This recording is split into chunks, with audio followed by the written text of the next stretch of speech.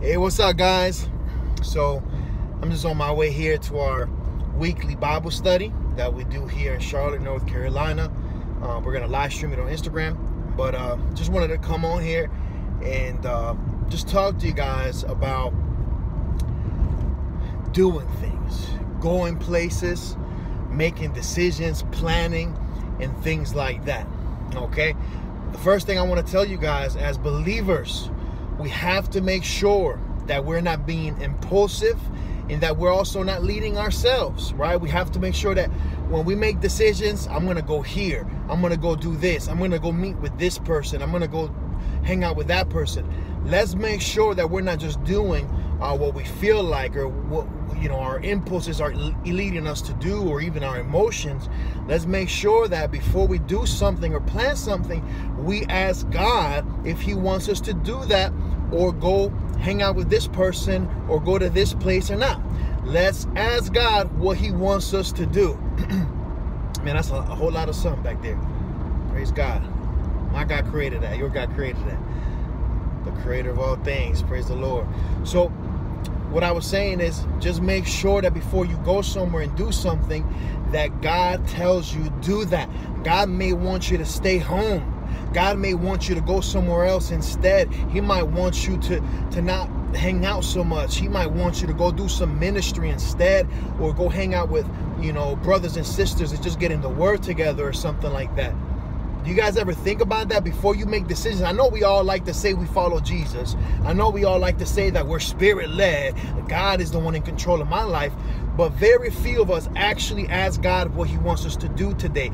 Few of us actually pray before we make decisions and do things. So before you make a decision, before you do something, before you go somewhere, ask God if that's what He wants you to do. You have to truly be spirit led. The Lord may lead you um, to go somewhere where He's actually going to use you. Or the Lord may tell you to not go somewhere where you're going to be led to stumble, led to sin. The Lord may tell you not to go somewhere where there's going to be danger and trouble. You might get killed. You might get arrested, right? We see the Lord telling Paul not to go here, not to go there. We see the Lord, um, you know, himself fleeing, you know, running away from crowds and not always staying and not always going with the flow, but being led by the Spirit, only doing what the Father wanted him to do and speaking what the Father wanted him to speak. So we have to be led by the Holy Spirit if we are Christians, not just on Sundays, not just when we do ministry and evangelize, every day, because the Lord may be wanting to lead us into somewhere where He's going to use us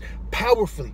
But if we just do what we want to do, we're just going to end up where the fun and entertainment and family time is, and not where the Lord is wanting to bring something to the harvest that He knows is there. Does that make sense? I hope that makes sense.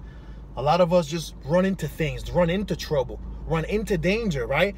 Um, and, and of course, you know, persecution, suffering, danger, death, you know, a lot of things um, are things that we're to have to endure as, as, as, believers, as Christians. You know, there's, there, there's nothing wrong with that. There's nothing unbiblical about that.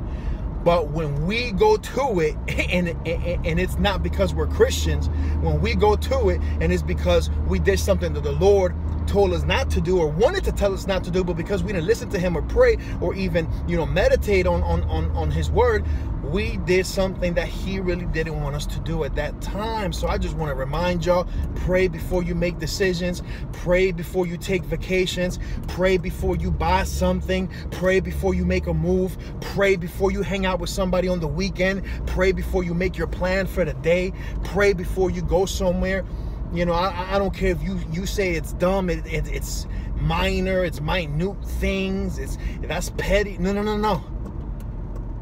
Do you really want to serve God? Do you really want to um, have God protect you, provide for you, and use you? Then, if you do, you have to be led by Him. You can't just go where you want to go and still expect everything that God wants to happen to happen if you're not even listening to where He wants you to go, where He doesn't want you to go.